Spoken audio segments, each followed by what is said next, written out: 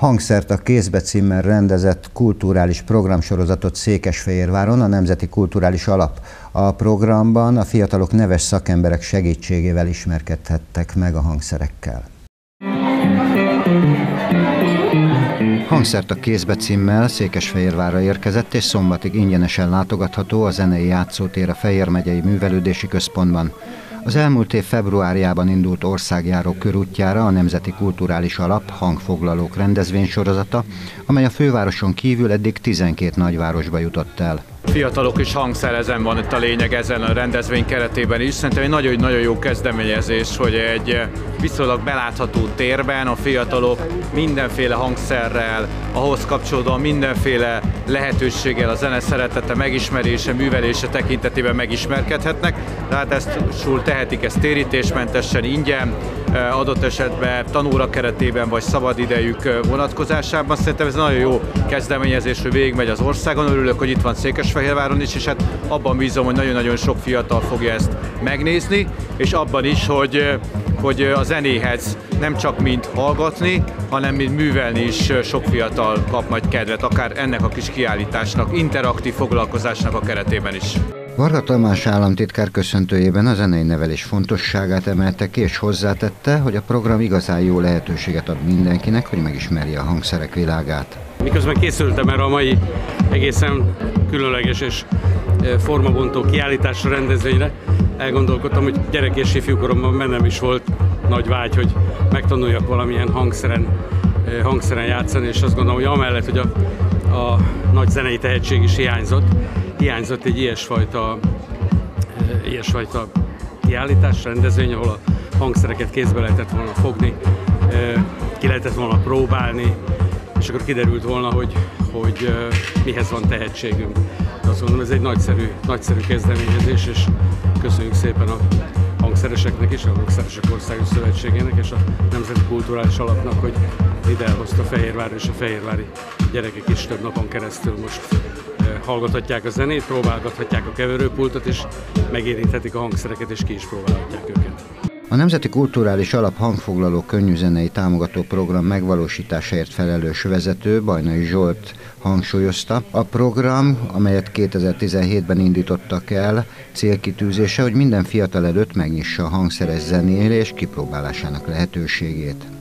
Mi is Kodályból indultunk ki, amikor a Nemzeti Kulturális Alap hangfoglaló programjának elindítottuk a 9. alprogramját. Ez a Magyar Könnyűzenei Oktatás támogató alprogramunk, aminek a legnagyobb rendezvénye ez a hangszert a kézben sorozat. Csak mi azzal egészítettük ki, hogy legyen a könnyű zene is mindenkié.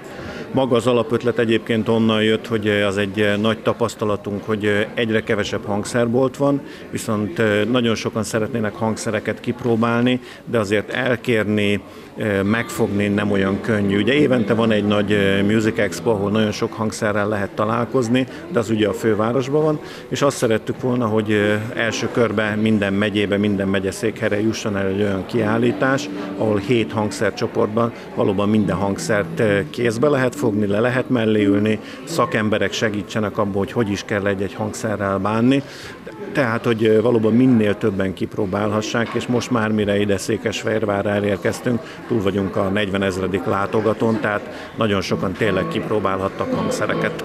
A Vendéglátó Művészetek Háza igazgatójaként Juhász Zsófia, aki maga is zenél, örömmel üdvözölte a kezdeményezést kiállításnak ugye hangszert a kézbe a címén, tehát ezt egy zenésznek nehezen lehet megmagyarázni, hogy miért pont most és miért pont itt ezen a héten és miért a művészetek házában, de valóban az a célunk, hogy rengeteg fehérvári gyermek eljöjjön, nézzék meg a hangszereket, ismerkedjenek velük, és segítsük őket abban, hogy nem csak sportágakat, hanem hangszerágakat is tudjanak választani szüleikkel együtt. A program célkitűzése, hogy minden fiatal előtt megnyissa a hangszeres zenélés kipróbálásának lehetőségét, közülük pedig minél többeket vegyenek rá a rendszeres muzsikálásra, a legtehetségesebbeket pedig a zenetanulásra. Ez egy borzalmasan nagy hiánypótló esemény, ugye hát az önmagában elmond mindent, hogy hazánk első és legnagyobb könnyűzenei oktatási sorozatáról beszélünk, tehát hasonló még egyáltalán nem volt hazánkban, és én úgy látom, ugye ez most már a 15. állomás Magyarországon, hogy, hogy elképesztő érdeklődés van. Tehát, hogyha a gyerekeknek játékot adunk a kezébe, akkor ők köszönjük szépen élnek vele, és használják és játszanak rajta. Ez gondolom Fehérváron is pontosan ugyanígy fog történni. Igen, hát a játszani is enged elv, az mindig működik. Mi a személyes tapasztalata? Melyek azok a hangszerek, amelyek valóban felkeltik a fiatalok érdeklődését? Hiszen azt tudjuk, hogy a számítógépben otthon vannak. Az a helyzet egyébként, igen, a technológiai igényük elképesztő, tehát tulajdonképpen amit itt látunk, ez ugye hat tematikára van fölépítve, vannak népi, klasszikus hangszerek, a könnyűzene eszközei, gitár, basszusgitár, dob és ütőhangszerek, billentyűs hangszerek, mint például itt a, a DJ technika, illetve az elektronikus zene és a házi stúdiózás. Ez gyakorlatilag mindegyik borzasztó népszerű. A kisebbeknél a dobok értelemszerűen, hiszen ott a nagy motorikus mozgások még könnyebben mennek, a nagyobb nagyobbaknál már a gitár a legnépszerűbb hangszer, és nagyon-nagyon feljövőben van az elektronikus zene is. Az interaktív zenei játszótér a hangszerkiállítás 7 témakörben közel 150 kipróbálható hangszerrel és eszközzel várja a fiatalokat, akik szakemberek segítségével ismerkedhetnek meg az eszközökkel. Nádasdi Borbála grófnő volt a Kápolnásnyéki Kastélymeség programsorozat vendége. A grófnő kalandos életpályájának állomásait osztotta meg közönségével. Folytatódott Kápolnásnyéken a kastélymesék portrébeszélgetés sorozat. A halászkastély vendége Gróf Nádasdi Borbála, hazánk kulturális nagykövete volt, aki végleges hazatérte után a magyarság egyik legfontosabb képviselője Európában. Nagyon örülünk neki, hogy hatalmas az érdeklődés olyannyira, hogy nem is tudunk sajnos mindenkit beengedni, aki szeretett volna a mai estén részt venni. Én azt hiszem, hogy ez egy fontos visszaigazolása annak, hogy jó úton járunk, hogy mindaz, amit itt szeretnénk bemutatni, a közösségteremtés, a kultúra ápolás, az együtt gondolkodás jegyében arra van igény, és ez mindig megnyugtató és boldogító érzés. A körülnézünk, itt zsúfolt ház fogadja a grófnőt.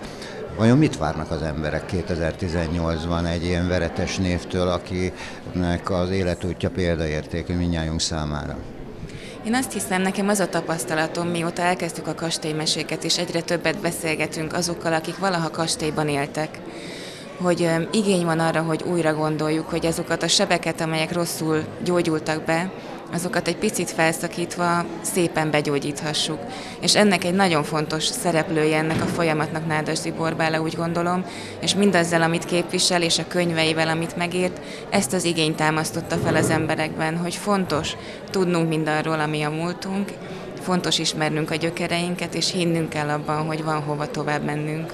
Nádasdi Borbála példakép lehet számunkra, hiszen anélkül, hogy valaha is magyarkodott volna, rendkívüli felelősséggel vigyázza nemzeti identitásunkat, őrizve magyarságát. Ez éltette abban a két emberöltönyi időben is, amíg emigránsként élte mindennapjait. Kastélyról mesélni azért az mindig érdekes, és még talán én vagyok egy utolsó, aki meg ilyen kastély életeket még megélt, mint gyermek, hogy az hogy folytak le az életek a kastélyokba a felnőttektől, a családok, akik azt ott lakták.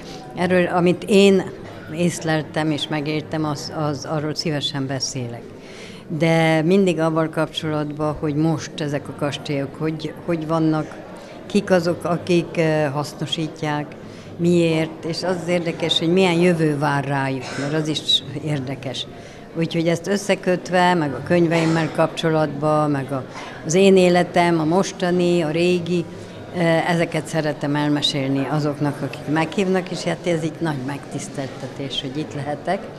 És kápolnásnyik. Én ugye voltam már azt hiszem két évvel, vagy egy évvel ezelőtt, de csak úgy nézni, nézni a, a, a kastélyt, hogy hogy épül, szépül, barátokkal, meg a nővéremmel és hát most nem is gondoltam arra, hogy engem egyszer ide meghívnak, és hát most itt van az alkalom, azt is, hogy sokan vannak, hogy ezek sokan érdekli, ez nagyon, nagyon jó, az embernek mindig jól esik, hogyha nagy az érdeklődés. Azt vettem észre, hogy mostanság tiszteletbeli nagykövetként Lubickol a feladataiban.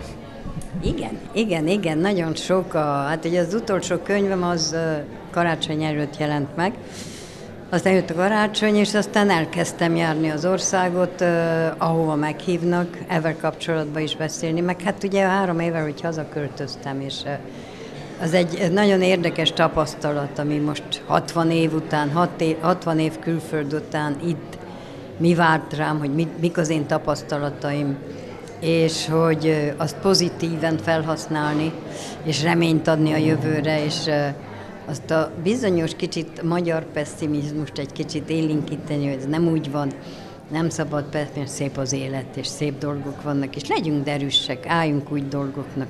A gondokat, hogy mondják, nem megoldani kell, hanem kezelni, és ez, ez egy fontos feladat.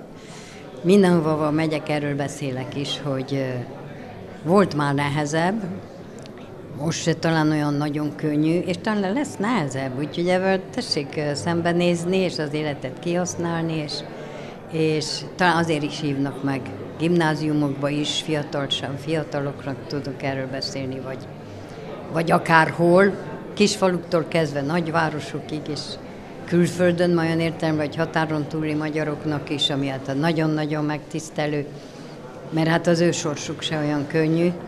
És hát nem lehet azt mondani, hogy kinek könnyű, kinek nehéz, de élünk, és ezt bizonyítani kell, hogy érdemes. Nádasdi Borbála országjáró körútján misszióként hirdeti a megmaradás, a hit titkát. Az a közösség, ami körülveszi, az a szeretet, amit napról napra megél, és az a méltóság, amivel körülöleli hallgatóságát, egyszerre tanít és figyelmeztet, tennünk kell egymásért minden nap. Szabó Magda régi módi történet című regényének színpadi adaptációja a Vörösmarty Színház új premierje, a darabot Tasnádi Csaba rendezte nagyapád is Grand Seigneur volna, mint Jabiloncai nagyapád, akkor aztán rögtesen nem lenne mit küldözgetni. Örülj neki, hogy föstény. Elég ingyen élő van a familiában. Mama, kérem ne tessék bántani édesapám. Az van arról akkor is úgy beszélek, ahogy neked tetszik látni. Ha nem konveriál, elmehetsz haza. Hál' Istennek a fél. Ő is szereti édesapám. Ki nem? Olyan szeretni való. Kérdezd meg a parasztokat a pallakon. A gazdák mindenki dicséri, mert a gazda jó. Mindjárt meg hozomra, meg ledolgozomra adja a húzát, meg a kukoricát. Azt hiszem, nem tudom. Dolgozik a szerint. Hogyne. Nappal is. Éjjel. Szabó Magda régi módi történet című regénye a reformkortól a század elői kalauzzal el bennünket egy olyan társadalmi emberi korrajzot bemutatva, amely egy józan gondolkodású kalmárlány és az álmodozó gentry család három emberöltön átívelő szövevényes történetét mutatja be. A regény színpadi átiratából készült drámát a Vörös Marti Színház mutatja be Tasnádi Csaba rendezésében. Én azt gondolom, hogy Szabó Magdái az érdem elsősorban, hiszen az ősbemutató színházi variációját, tehát a szövegkönyvet, azt ő készítette a saját regénye alapján, ő dramatizálta a darabot, hihetetlen jó érzékkel, ráfókuszálva azokra a dolgokra, amik egy drámai művet életben tudnak tartani, folyamatosan fönn tudják tartani a néző érdeklődést. De hát igazából Szabó Magda féle szövegváltozatot használtuk, nincs miért hozzányúlni, annyira jó, minimális húzást eszközöltünk, így is eléggé hosszú az előadás, de borzasztó jó érzés az, hogy az eddigi visszajelzések alapján senki nem érzi ezt hosszúnak, tehát az idő az egy szubjektív dolog bizonyos szempontból, és, és röpül az idő. Ahogy ezt mondani szokták, az előadás alatt, hiszen ez egy nagyon jó értelemben vett nemes szappanopera. Borzasztóan izgalmas szituációkkal, egyéni sorsokkal, egy családregény. Nem kellett ezt a dolgot színészileg korban ábrázolni, ebben segítenek a jelmezek, a sminkek, a díszlet, a bútorok, a tárgyak, és a többi, és a többi. Pont azt szerettük volna hangsúlyozni, hogy ez egy nagyon élő történet. Ezek soha el nem múló problémakörök, vallási ellentétek, női emancipáció, férfi-nő viszony, generációk harca. Ez nem egy korrajz, ez egy emberiség ábrázolás. Nagyanyák azt üzeni a mamának, hogy Kálmánka ingyen van. Mit csinál? Egy darabig kiszolgál a. Aztán, hogyha ismerős lány jön be, annak ingyen csomagol. És cédulát a cekkelében. Én fiam ingyen pakol? Sorra jönnek a lányok hozzánk vásárolni, akikkel táncolni Sőjön ki a szemik, hogy hozzánk járnak potyázni. A dráma főszereplője Rikl Mária szerepében Varga Mária mutatja be a feleségként, nagyanyaként, anyaként a sors által neki szánt sorsfordító történések tükrében, miként lehet a mindennapi létpoklában megmaradni. A Mária nagy személyisége Az az igazság, hogy én is hajdúsági lány vagyok. Én onnan ott születtem, és hát én ezt a világot eléggé ismerem. És ezt én egész életemben szüleim révén is ezt így magamba hordozom, és én ezt vannak persze nagyon nehéz dolgok benne, amire az ember ellentmond, de, de rengeteg igazság van a mai napig Mária részéről, úgyhogy... Ezek azok a mélységek, amelyek láthatóan egyik oldalról meghatóak, a másik oldalról pedig nagyon is a valóságot, a mai valóságot tükrözik. Ugye ezek párban járnak. Tehát kézen fogva jár a múlt és a jelen. Ez így van, ez így van. Úgyhogy ez az előadás, én úgy hiszem, hogy és ez a mű, Szabó Magda műve a mai napig a 21. században is szól minden generációnak, én úgy hiszem, úgyhogy ez egy nagyon szép családi program tud lenni a nézők számára, ha ezt az előadást megtekintik, mert nagyon sok minden dolgot tud Szabó Magda nekik mondani, és, és szórakoztatni, és kiki megtalálja benne a maga boldogságát, sérelmét. Tehát egy remek este, úgy hiszem. Sámi Zoltán, meg Hoffer József párbajoztak lengyér. A párbaj ma hajnalban volt a nagy Hoffer borús volt, Sámi diadalmas. Később aztán már nem volt olyan jó kedvű, mert Hopper kettészelte az arcát. Úgy nézett ki, mint egy rém.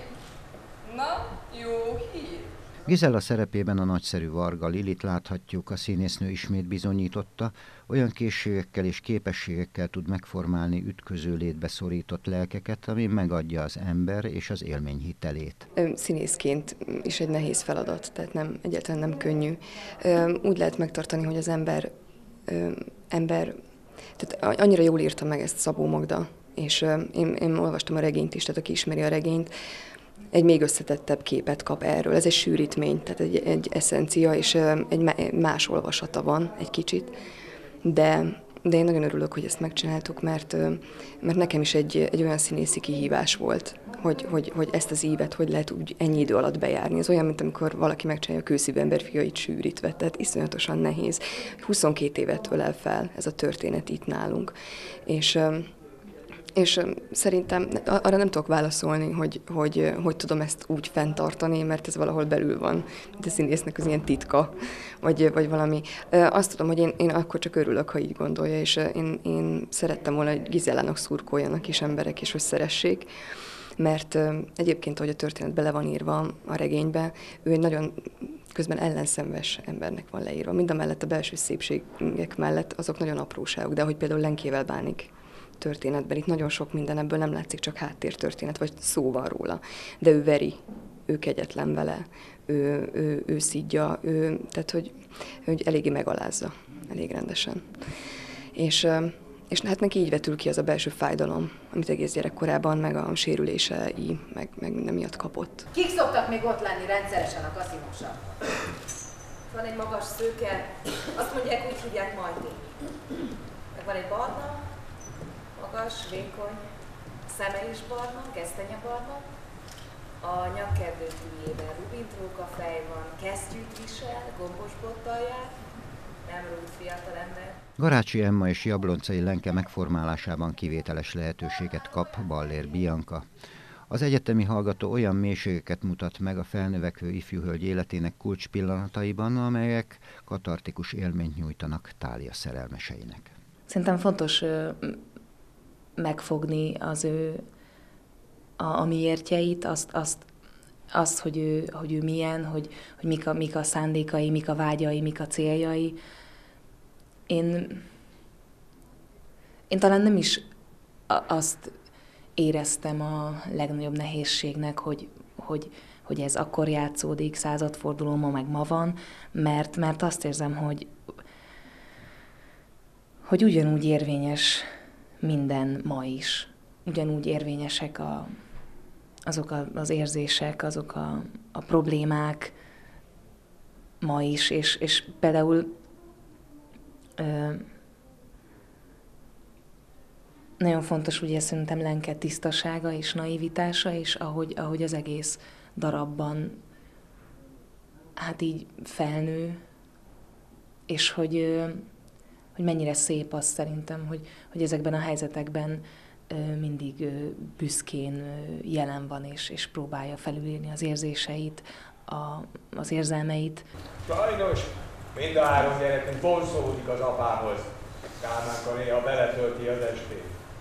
Ah, a bom! Már ezt is tudom. Ki jelentette a Klári? Senki sem jelentette. Ebben a házban mindenki szerelmes belétek jabloncanyagba. És úgy titkolják a bűneiteket, hogyha nem volnának elég éberek a szüleim, sose tudtam volna meg, hogy a fiú. A fiú nem iszik, Mari. A fiú unatkozik. Kuna Károly bizonyította, hogy kiváló választás volt rábízni Jabloncai Kálmán sokrétű jellemének kibontását, makulátlan és hitelesen gentri alakja az est különleges pillanatai közé tartozik. A nézőknek kell eldönteni, hogy egyáltalán sikerült-e hitelesen eljátszani. Nagyon, de nagyon szimpatikus kor egyébként, borzasztó érdekes. De maga az egész előadáson belül iszonyú nagy időszakot ölel át. Hogy hogyan sikerül, e, igazából férfi és nő örök viszonyáról szól, a családon belüli ellentétekről, a családnak a megőrzéséről, hogy hogyan lehet egyáltalán megőrizni az akkori morálnak, etikának megfelelő megfelelően viselkedni, ami ma már, hogy úgy mondjam, kisé ódivatúnak tűnik.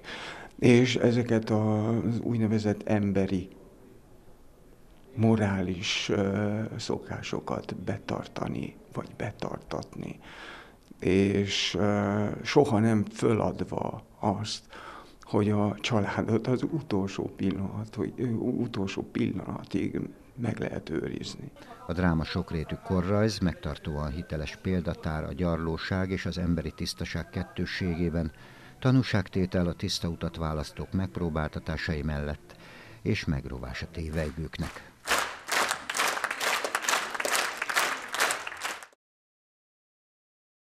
Kedves nézőink, köszönöm megtisztelő figyelmüket, találkozunk a jövő héten kedden, ugyanebben az időpontban, ugyanitt, minden jót kívánok, viszontlátásra!